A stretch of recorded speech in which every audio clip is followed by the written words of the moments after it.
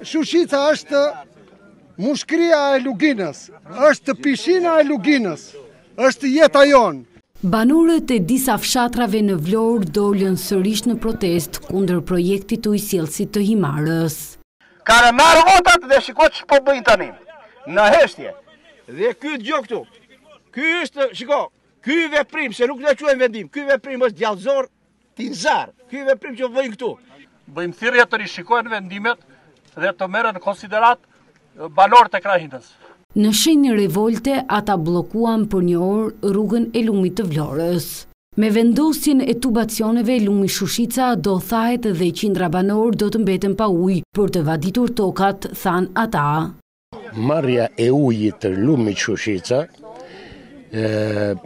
vjen që 30 fshatra të lumit të Vlorës të thahen dhe të kenë etje për një pikë ujë, duke mos llogaritur me mijëra hektarë tokë e cila do ngelet djerrë. Kemi bërë peticione deri tek kryeministri.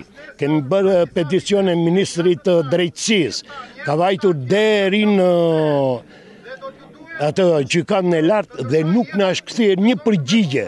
Marrja e ujit këtu do të thotë që kjo zonë është e vdekur, komplet, totalisht. Jo se nuk e duam bregdetin, por nuk mjafton shushica për nevojat tona. Në fshatin Kuç të Vlorës po punohet prej tetë muajsh për shtrirjen e tubacioneve të ujësjellësit të Himarës. Investim ky me vlerë nëntë pikë pesë milionë euro i Fondit Shqiptar për Zhvillim dhe Bashkisë së Himarës. Projekti është miratuar pa konsultim publik çka ka nxitur dhe revoltën e banorëve që protestojnë për të disatën herë.